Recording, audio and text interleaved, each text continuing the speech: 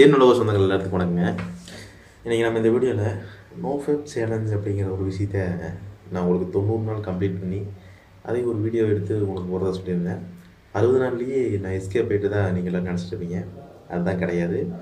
தொண்ணூறு நாள் நான் கம்ப்ளீட் பண்ணிட்டேன். தொண்ணூறு நாள் கடந்தே போயிடுச்சு ஆனால் வீடியோ என்னால் ஒரு எண்பத்தி ரெண்டு நாள் தொடர்ச்சியாக ரெக்கார்டு பண்ண முடிஞ்சுச்சு அதுக்கப்புறம் நிறைய பழைய வேலைகள் அப்படிங்கிற மாதிரி நான் போயிட்டேன். அதனால் வீடியோ ரெக்கார்ட் பண்ண முடியல. இருந்தாலும் அந்த ஒவ்வொரு நாள் அனுபவத்தை ஒவ்வொரு நல்ல சொற்களாக உங்களுக்கு நான் பகிர்ந்துருக்கிறேன். அதையெல்லாம் பார்த்துட்டு வாங்க. நம்ம இதை பற்றி இன்னும் டீட்டெயிலாக பார்ப்போம். வீடியோக்குள்ளே போகிறதுக்கு முன்னாடி சப்ஸ்கிரைப் பண்ணிவிட்டு அந்த பெல் ஐக்கான ஆளுங்கிறத கொடுத்துருங்க. அதுக்கு முன்னாடி நம்ம வீடியோக்கு ஒரு லைக் கொடுத்துருங்க. நீங்கள் கொடுக்குற லைக் தான் எனக்கு மேலும் மேலும் வீடியோ பண்ணுறதுக்கு ஒரு மோட்டிவேஷனாக இருக்கும். அறுபத்தி ஒன்றாவது நாள். அறுபத்தி ரெண்டாவது நாள். அறுபது ப்ளஸ் மூணு அறுபத்தி மூணாவது நாள். எனக்கு என்ன வேணுங்கிறது எனக்கு தெரியும். நான் என்ன அடைய போகிறேங்கிறது எனக்கு தெரியும். என்னை பார்த்துக்க எனக்கு தெரியும். அறுபத்தி நாலாவது நாள். நாம் எவ்வளோ தூரம் நம்ம வெற்றிக்காக முயற்சி பண்ணுறோமோ அவ்வளோ தூரம் வெற்றியின் உச்சத்துக்கே போவோம். அறுபத்தி அஞ்சாவது நாள்.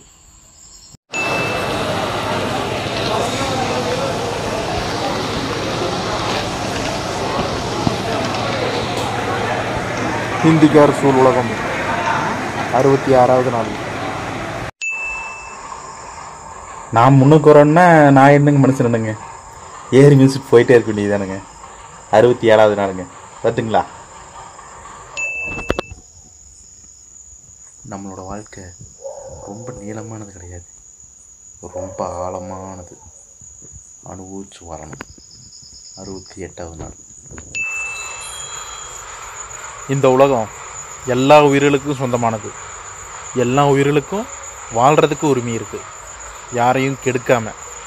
அறுபத்தி ஒன்பதாவது நாள். பல பேருக்கு நாம் நல்லது செஞ்சாலும் நம்மளை யாருமே நல்லவங்களாக பார்க்குறதில்ல அதுக்காக நம்ம நல்லது செய்யாமல் இருக்கக்கூடாது. எழுபதாவது நாள். எப்போவுமே நம்ம பாதையை நாம தான் தேர்ந்தெடுக்கணும்னு நினைக்கிறது நல்ல சமாச்சாரம் தான் ஆனால் நாம் தேர்ந்தெடுத்த பாதையில் தான் நம்ம போயிட்டுருக்குமான்னு பார்க்கணும். அதுதான் உண்மையான சமாச்சாரம். எழுபத்தி ஒன்றாவது நாள். பணம் பேர் புகழ் நம்ம பிரபலமாக இருக்கிறோம். இதெல்லாம் ரெண்டாம் கட்ட விஷயம்தான். முதல் கட்டம் எதுன்னு கேட்டிங்கன்னா நம்ம பிடிச்ச வேலையை செய்கிறோமா நம்ம பிடிச்ச இடத்துல இருக்கிறோமா அப்படிங்கிறது தான் முதல் விஷயம். எழுபத்தி ரெண்டாவது நாள். எல்லோருடைய வெற்றியும் ஃபஸ்ட்டு கனவுல தான் ஆரம்பிக்கும். எழுபத்தி மூணாவது நாள்.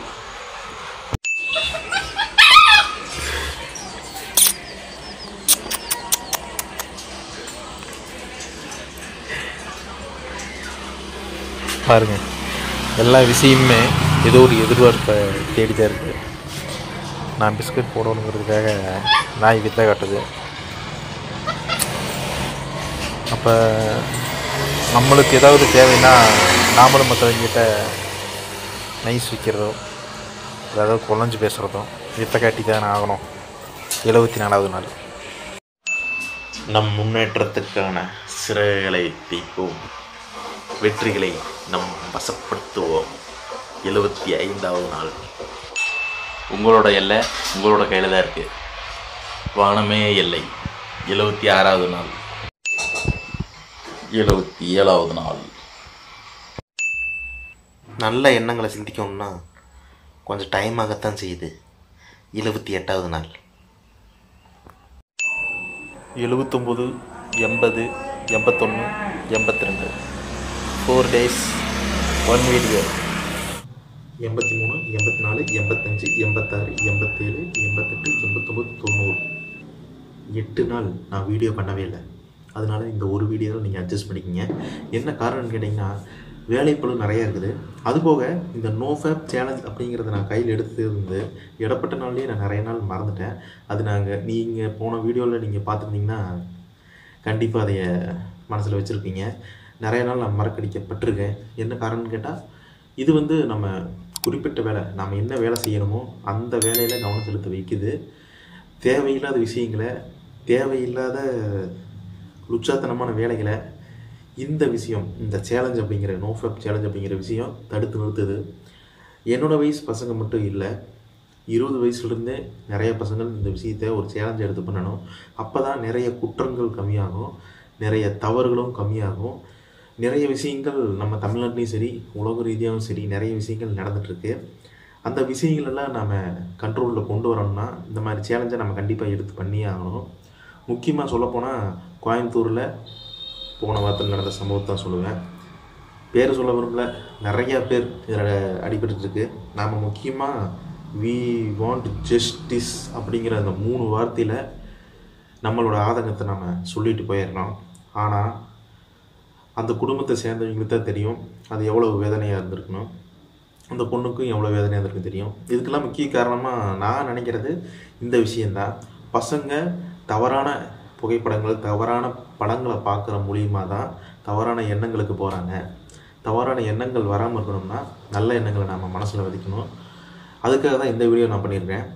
இந்த வீடியோ கடைசி வரைக்கும் முழுசாக பார்த்துருந்தீங்கன்னா பல விஷயங்கள் நல்ல விஷயங்கள் சொல்லியிருப்பேன் அதில் எந்த விஷயங்கள் உங்களுக்கு பிடிச்சிருந்தது அப்படிங்கிறத கண்டிப்பாக கமெண்ட் சொல்லுங்கள் நோ சேலஞ்ச் தொண்ணூறு நாள் மட்டும் இல்லை அது நூற்று நூற்றி இருபது நாள் தாண்டி போயிட்டு கிடக்கு. நாம் நல்லவனாக நம்மளை காட்டிக்கணுங்கிற அவசியம் இல்லை. அட்லீஸ்ட் முயற்சியாவது பண்ணுவோமே. இந்த தமிழ்நாடும் நல்லாயிருக்கும் நம்ம தாய்நாடும் நல்லாயிருக்கும். ஓகே கண்டிப்பாக இந்த வீடியோவை எல்லாத்துக்கும் ஷேர் பண்ணுங்கள் எல்லாருமே இதை பற்றி தெரிஞ்சுக்கிட்டோம். இதை பற்றின புரிதல் எல்லாத்துக்கு வரட்டும். இது தவறான விஷயங்கள் கிடையாது. இந்த விஷயத்தை சேலஞ்ச் எடுத்து பண்ணுறது நல்ல விஷயம் அப்படிங்கிறத புரிஞ்சுக்குங்க. முக்கியமாக நம்ம வீடியோக்கு ஒரு லைக் பண்ணி விட்ருங்க உங்களோட தாழ்மையான கருத்துக்களை கமெண்ட் பாக்ஸில் பதிவு பண்ணுங்கள் அதோட முக்கியமாக சப்ஸ்கிரைப் பண்ணி சப்போர்ட் பண்ணுங்கள் அப்போ தான் நான் மேலும் மேலும் வீடியோ பண்ணுறதுக்கு ஒரு ஊக்குவிப்பாக இருக்கும். நான் வீடியோக்கள் ரெகுலராக இப்போ போடுறதில்ல. இனிமேல் கண்டிப்பாக வீடியோஸை கண்டினியூவாக எனக்கு தெரிஞ்ச தகவலில் உங்கள்கிட்ட பகிர்ந்து நான் வீடியோக்கள் போடுறேன். நன்றி. வணக்கம்.